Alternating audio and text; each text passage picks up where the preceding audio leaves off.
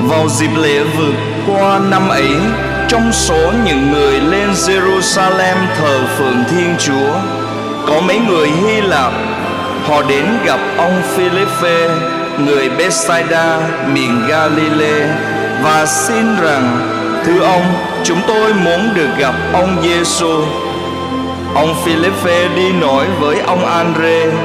Ông Andre cùng với ông Philippe đến thưa với Đức Giêsu Đức Giêsu trả lời, đã đến giờ con người được tôn vinh. Thật, thầy bảo thật, anh em, nếu hạt lúa gieo vào lòng đất mà không chết đi, thì nó vẫn trơ trọi một mình. Còn nếu chết đi, nó mới sinh được nhiều hạt khác. Ai yêu quý mạng sống mình thì sẽ mất. Còn ai coi thường mạng sống mình ở đời này thì sẽ giữ lại được cho sự sống đời đời. Ai phục vụ thầy thì hãy theo thầy, và thầy ở đâu, kẻ phục vụ thầy cũng sẽ ở đó. Ai phục vụ thầy, cha thầy sẽ quý trọng người ấy. Bây giờ tâm hồn thầy sao xuyến, thầy biết nói gì đây?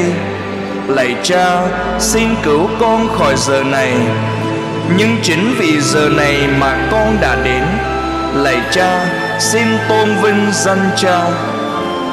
Bấy giờ có tiếng từ trời vòng xuống. Ta đã tôn vinh danh ta và ta sẽ còn tôn vinh nữa. Dân chúng đứng ở đó nghe vậy liền nói, đó là tiếng sấm. Người khác lại bảo, tiếng một thiên thần nói với ông ta đấy. Đức giêsu đáp tiếng ấy đào vòng xuống không phải vì tôi, mà vì các người. Giờ đây đang diễn ra cuộc phán xét thế gian này.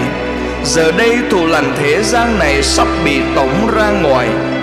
Phần tôi, một khi được dương cao lên khỏi mặt đất, tôi sẽ kéo mọi người lên với tôi.